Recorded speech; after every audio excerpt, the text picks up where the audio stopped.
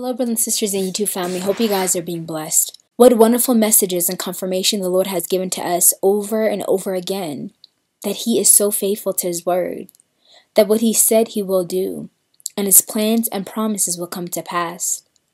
We have to be very careful, Heart Dwellers family, that we don't get engrossed in the news and even alternative news that is condescending, degrading, and judges the souls of those who they feel are bad or wicked. We must remember that it's God who judges the intentions of the heart, and when we decide to be a judge, we always judge in error. I've seen the title of many videos disrespecting President Trump and Biden as well. I've seen alternative news titles and videos that smear and tear to shreds those of the deep state and their families based upon the actions they have committed. Also, when the Chinese Communist Party is mentioned as well. We must remember Jesus told Mother Clare that many of those who we call wicked, sick, or evil were raised that way. The motives of their heart are to do good for our nation, and they think this is the best possible means to do that. They don't take in consideration God because they were brought up not to. So they think killing for the greater good of the masses is better than everyone dying and being destroyed. As heart dwellers and brides of Christ, it's important that we must not see any one person or group as the enemy. The real enemy is Satan, sin, and our flesh. That is the enemy we must fight. And these precious souls who are lost must be prayed for with a sincere and compassionate heart of contrition to Jesus because he loves them. They are all his children and souls created from his heart, whom he loves and grieves over greatly. I share all of this with you because after receiving the message about Joe Biden being Absalom, I meditate on the outcome of the battle and how Absalom died from the conspiracy and the snare that he set up for his father.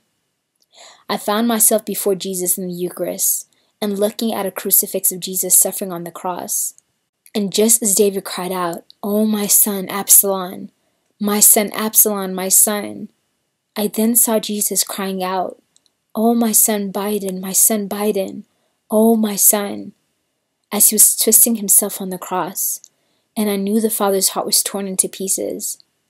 I began to cry as I felt the Lord's anguish and tenderness he had for his son, Joe Biden, despite what people say about him. I then saw President Trump and President Joe Biden on stage as they were going at it on stage during the debate. Then all of a sudden, in an instant, they were both transformed into children in adult suits that were too big for them. They were no longer going at it, but I sensed as children they would have even become great friends. Then I saw the Chinese Communist Army getting ready for war, as soldiers were busy in preparation. Then in an instant, all the soldiers were transformed into children in adult soldier suits. They looked so cute, as some of the children began to look up and wonder at the sky as children do. Some began to play around as if fidgeted out their clothes. Others began to play with each other, wearing one another's hats and chasing one another. I was overwhelmed as I realized the Father allowed me to enter into his heart and see souls from his eyes, his eyes of love, because we are all mere children, not knowing what we're doing. And we're never created to kill, judge, and hate each other but sin has done that. I cried as tears streamed down my eyes, seeing how precious these children were, and how sin had twisted them into having such wicked natures. But that wasn't the Lord's intention for them. I felt such great pity, sorrow, and compassion for them, as I began to ask Jesus to please have mercy upon them. Please have mercy upon our enemies. Forgive them, Father, because they do not know what they do. Remember that we too are children, and only by the Lord's grace that he gave us to a decent family, birthed us in a nation that is free, and led us to his Son, that we may have salvation. If it wasn't for the Lord's grace, in a heartbeat, we could easily be worse off and prone to the most despicable things if he had not been holding us in the palm of his hands. He saved us so we can pray and live our lives for the salvation of others. So, for those who have been struggling to love Joe Biden, the members of the deep state, and other nations we consider to be enemies. I hope that gives you the Father's perspective and his heart.